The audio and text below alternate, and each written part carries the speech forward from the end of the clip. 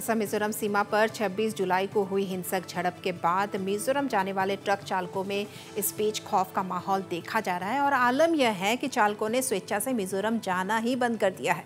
यहाँ बता दें कि घटना के बाद ऐसी खबर आ रही थी कि असम की ओर से आर्थिक नाकेबंदी की गई है, लेकिन यह सभी खबरें बेबुनियाद है। ट्रक चालक स्वेच्छा से मिजोरम नहीं जाना चाह रहे, जिसके कारण मिजोरम में आवश्यक सामग्रियों की किल्लत देखी जा रही है। पिछले एक हफ़्ते से चालक ट्रकों को असम की से मिजोरम लेकर नहीं जा रहे हैं। डर लगता है इसीलिए नहीं जा रहा है। आज दस दिन बारह दिन हो गया कोई लोडिंग नहीं है कोई गाड़ी नहीं जा रहा है। जिस दिन से ये घटना हुआ है जिस दिन से आसाम मिजोरम के बॉर्डर में ये हिंसा की बात शुरू हुई है आज तक हमारा मिजोरम आसाम का बॉर्डर बंद है। जो यहाँ का गाड़ी है ट्रांसपोर्ट है सब अभी बंद होने जा रहा है। आसम का जितने भी ड्राइवर है आसम का वोटर भी रहे। जब जब तक ये बात समाधान नहीं होता तब तक ये नहीं जाए।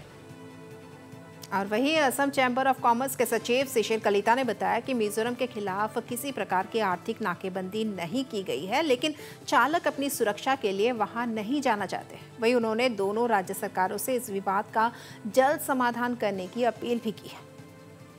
घटना सीमांत हल সেই ঘটনাটোৰ ফলত যিখিনি ব্যৱসায় কৰা মানুহ ব্যৱসায় কৰা মানুহবিলাক সাধাৰণতে শান্তিপ্ৰিয় মানুহ তেওঁলোকে কোনো ধৰক এটা প্ৰব্লেমত যাবলৈ নিবিচাৰে। চৰকাৰৰ ফালৰ পৰা তেনেকুৱা কোনো হেৰি নাই কিন্তু বস্তু তেনেকৈ যোৱা নাই আপোনাৰ। মানে মানুহবিলাকে বস্তু পঠিয়াবলৈ অকণমান টান পাই আছে আপোনাৰ।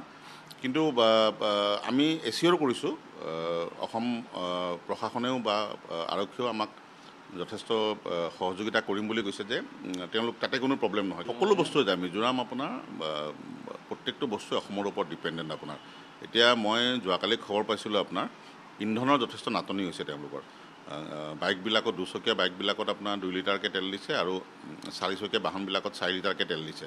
এইটো যদি চলিবলগীয়া হয় তেনেহ'লে এটা সময়তো তেওঁলোকৰ ধৰক গাড়ী মটৰ বা যিটো যোগাযোগৰ যিটো ব্যৱস্থা আছে সেইটো কম সম্পূৰ্ণ ব্যাহত হ'ব।